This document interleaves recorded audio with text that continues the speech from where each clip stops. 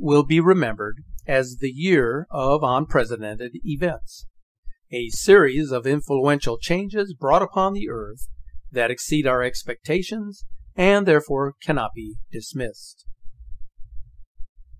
Since April of last year, when I first began narrating weekly video presentations, I have attempted to incorporate pieces of the puzzle that would strongly suggest the presence of a celestial intruder in our solar system. A foreign traveler that has the potential to create havoc on the Earth in the manner of climate upheaval and radical Earth changes. There are those who adamantly disregard the theory of a planet X as the cause of dramatic Earth changes. But in doing so, they do not offer an alternative reason for the changes that are happening. Even NASA will admit that something very big is perturbing the solar system, although they will not admit to the probability that an intruder has already been discovered.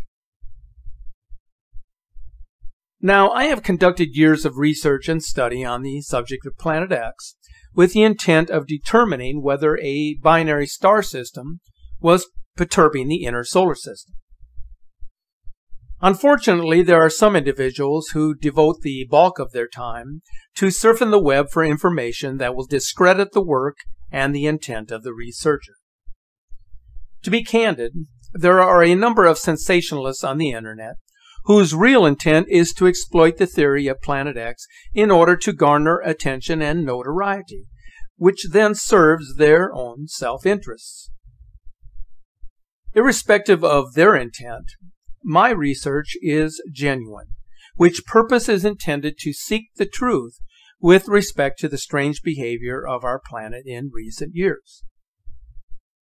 The changes that we are experiencing do not happen suddenly. It is a gradual process that often goes unnoticed by most of us.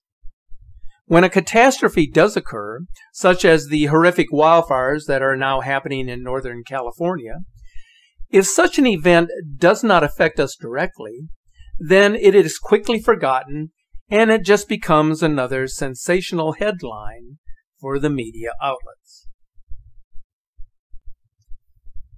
Is the media eager to discredit the theory of Planet X and anyone who supports it?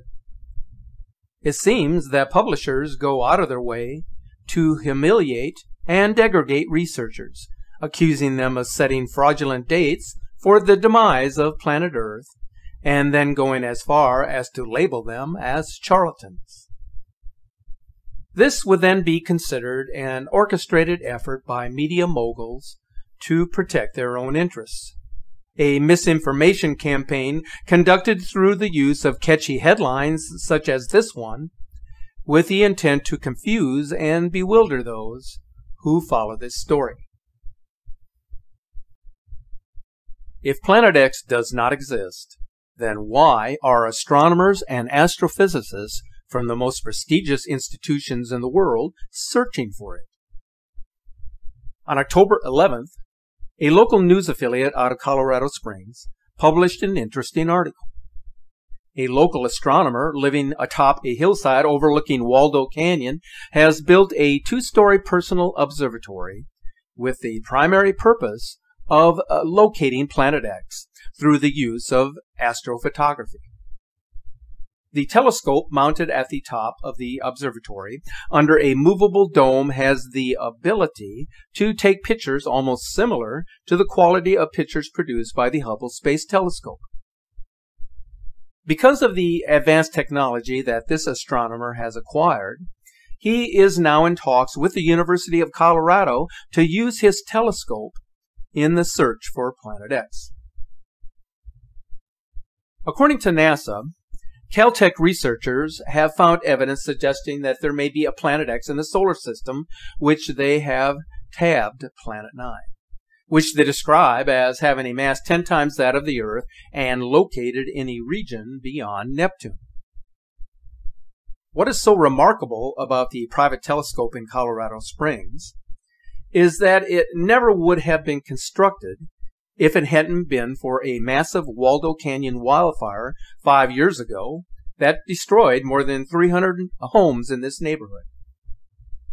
Having been given the opportunity to rebuild, this avid astronomer decided that he would pursue his lifetime interest of having a personal telescope on his property for observing the heavens.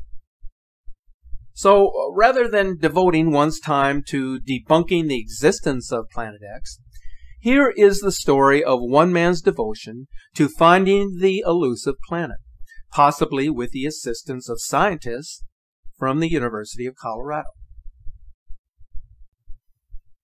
I want to devote some time uh, to the ongoing wildfire catastrophes that are happening in Northern California because the cable news networks are not covering this tragic event nearly enough, and I feel it deserves more attention than what it is getting from the media. At the time of this presentation, 43 people have perished in these fires and thousands have been left homeless. More than 250 people are still missing. More than 3,500 homes and structures have been destroyed, and almost 222,000 acres have burned. This is the most destructive and deadly wildfire in California history. But these numbers are just a reminder of how devastating wildfires are in terms of loss of life, the destruction left in their wake, and the environmental impact it causes to entire regions that are caught up in this inferno. Take a look at this remarkable aerial video captured by Douglas Thron showing the fire devastation in Santa Rosa, California on October 10th. The video speaks volumes and reminds us of just how vulnerable we are when confronted by the power